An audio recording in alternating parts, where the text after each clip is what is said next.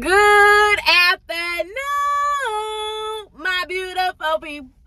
How y'all doing? I am feeling good, feeling great. Okay. So like I was telling y'all in the other video, I had came to the hospital so I could see what was going on with my finger or whatever. So yes, Kind of find out, y'all, I done fractured my finger or whatever. So, of course, they want to be all dramatic and wrap me up and all this or whatever. But, anywho, so yes, I fractured my hand. But I want to know, like, when y'all go to the hospital, do y'all be getting irritated when everybody be coming in and asking you, well, how did you do this? Well, how did this happen? This, that, and the third. Like, well, let me tell y'all what happened. Since they wanted to know, I'm going to tell y'all what happened to my hand.